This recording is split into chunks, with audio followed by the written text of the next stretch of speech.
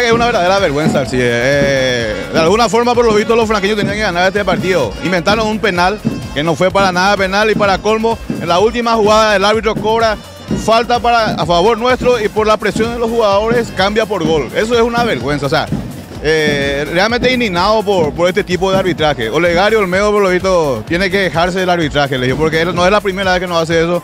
Contra Franco en Minga Guazú, el año pasado también hizo la misma cosa. Y bueno, ¿qué querés que te diga? Jugamos bien, eh, tuvimos chance hasta los últimos minutos, era muy parejo el partido, pero se definió gracias al arbitraje, no gracias a Franco ni para nadie, gracias al arbitraje. Mucha presión también hoy día.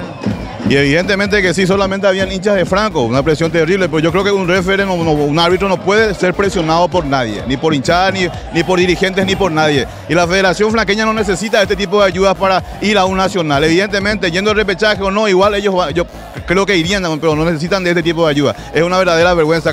Con, este tipo de, de actitudes de arbitraje uno realmente quiere dejarse de este deporte.